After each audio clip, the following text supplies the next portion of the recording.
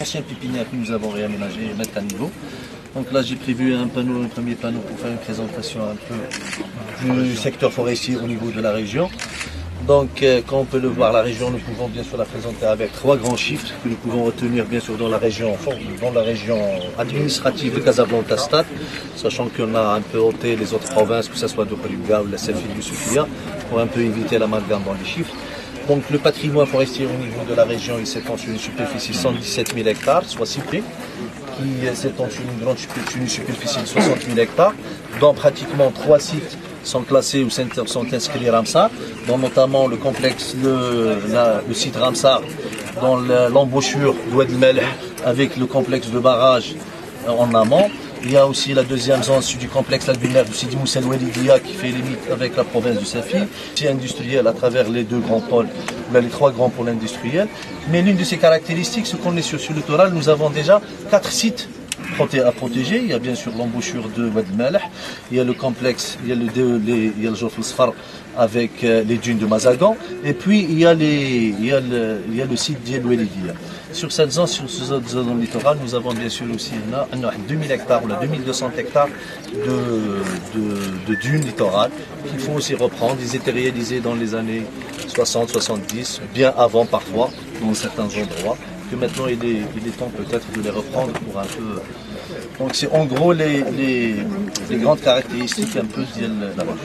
Donc par rapport à la climatologie, donc par rapport à la climatologie, là on a, on, a, on va vous présenter bien sûr le programme de reboisement, le bilan. العملية ديال التشجير بطبيعة الحال كان هناك برنامج في إطار البرنامج العشري ديال المندوبية السامية اللي فيه امتداد أولا من البرنامج العشري 2005-2014 ولكن كذلك حاليا 2015-2024 الأهداف المسطرة وهي تقوية أولا المساحات المسجرة وهذا اللي جعل على أنه في العشر سنوات الماضية البلاد ديالنا اللي كانت كتخسر تقريبا ناقص 1% بالنسبة للغطاء الغابوي استرجعت حاليا استطاعت أنها تعكس هذاك المنحنى التراجعي وصبحنا كنربحوا تقريبا زائد 2%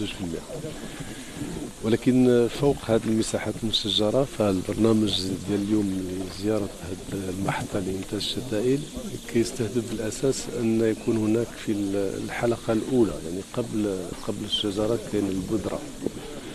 يعني فجمع البذور آه،